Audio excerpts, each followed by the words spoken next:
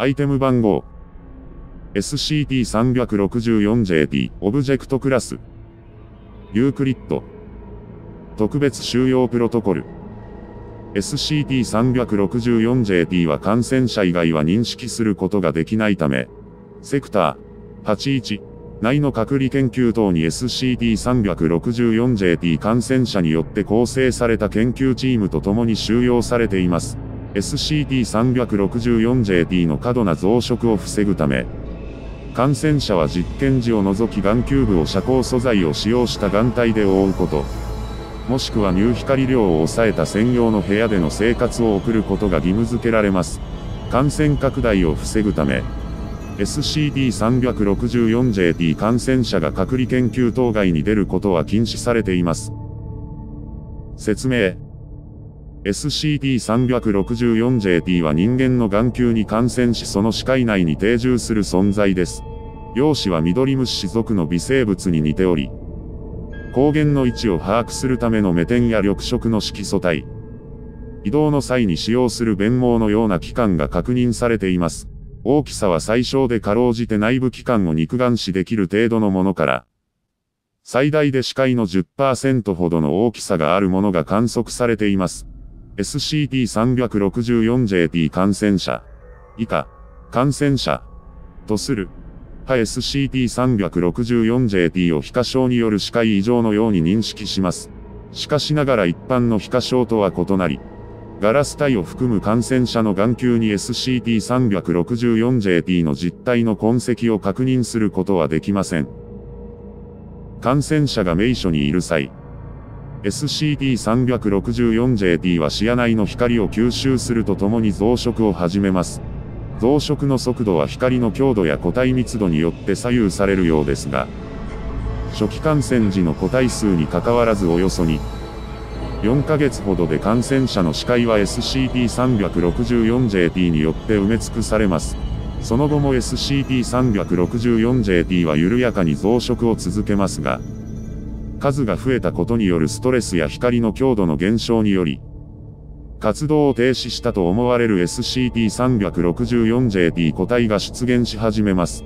これらの個体は分解されることなく視界下部に蓄積し始め、感染者の視界はおよそ半年で活動を停止した SCP-364JT によって埋め尽くされ失明することになります。なお、感染者が暗所にいる場合 SCP-364JT の活動や増殖は極端に抑制されること。活動抑制後に強行に数時間さらされることで活動を再開することが判明しています。感染者の証言をもとに作られた末期症状の CG。緑色に見える部分は卵の黄身。視界が活動を停止した SCP-364JT により埋め尽くされてから1から2年ほどが経過すると、SCP-364JT は感染者の視界から消失し始めます。これにより感染者の視界は明瞭になりますが、視界内の不特定の物体や液体が SCP-364JT に似た動く微細な粒によって塗りつぶされているように見える視覚異常が発生します。この粒の大きさは感染者と物体の距離に関わらず一定です。SCP-364JT の感染経路は未だ明らかになっていません。感染者が SCP-364JT を認識するようになった際の状況に共通点が見られないことから、何らかの不可視の感染源が空気中に存在しており、それに対する抵抗性が弱い人間にのみ SCP-364JT が感染する。という仮説が現在挙げられています。付録。以下の文章派前 SCP-364JT 研究班長の氷川氏による。SCP-364JT 感染初期から感染末期までの症状等を書き留めた個人的な手記からの抜粋です。なお、氷川氏は SCP-364JT 感染後に財団に確保された後、戦術の SCP-364JT 研究チームの一員として雇用されました。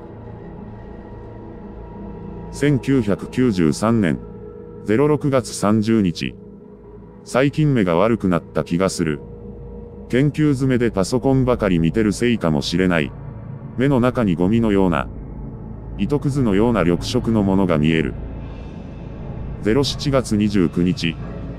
誰にも信じてもらえないかもしれないが、その、目の中のゴミが分裂して増えている。しかも活発に動く。今もちらちらと紙面の上を緑色の点が動いている。08月10日。医者に話したら一度大きな病院で検査を受けるように言われた。にしてもこの点は振る舞いがどことなく生き物っぽい。目に感染する生き物なんてのは聞いたことはないが。これは新たな寄生微生物なのか？とりあえず家族に移すわけにはいかない。接触をできるだけ多と、仕事もしばらく部屋にこもってできるものだけにしよう。08月11日、京病院に行って、精密検査の予約を入れた。虫は相変わらず増えて、ふよふよよよ漂っている。4、5匹ぐらいだったら可愛いとも思えたが、今じゃ100匹近くの虫が視界を横切っている。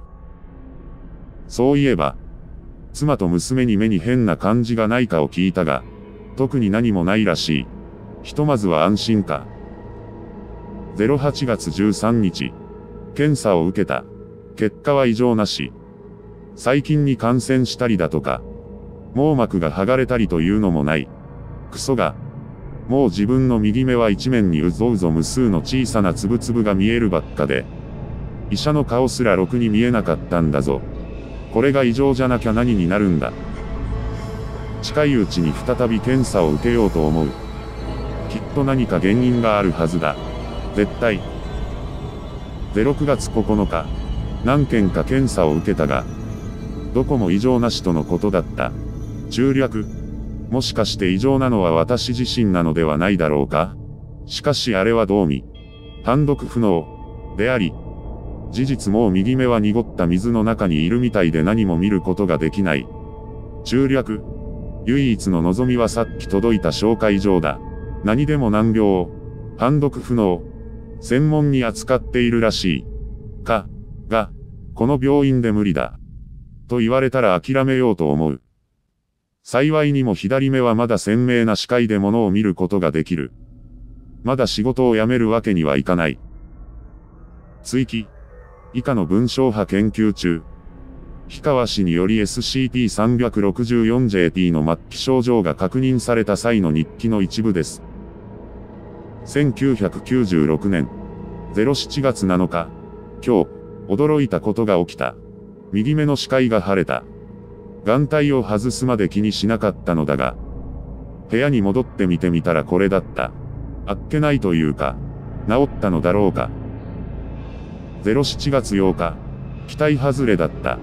昨日のことを報告しようと思ったのだが、さっき会った右目で見た部下たちは白衣を着た緑色のつぶつぶの集まりだった。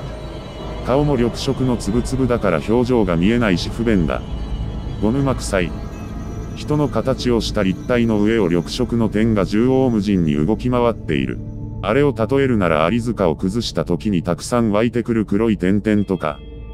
健康番組でよくある泥泥血液の流れにくさのシミュレーションだとか。きっとそんな感じの表現になるか感染したのが右目だけでよかった。両目がこの状態で人と生活するのは、厳しい。ああ、そういやさっき今日で見た俺も、緑色のつぶつぶだった。幸いこれを書いている私の手は普通に見え。その後、氷川氏は左目にも SCP-364JP が感染したことを明らかにしました。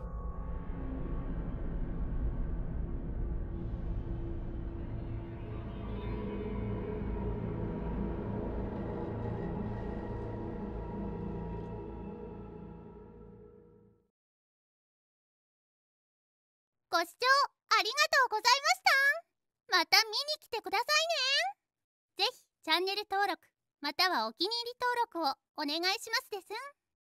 ですんですん。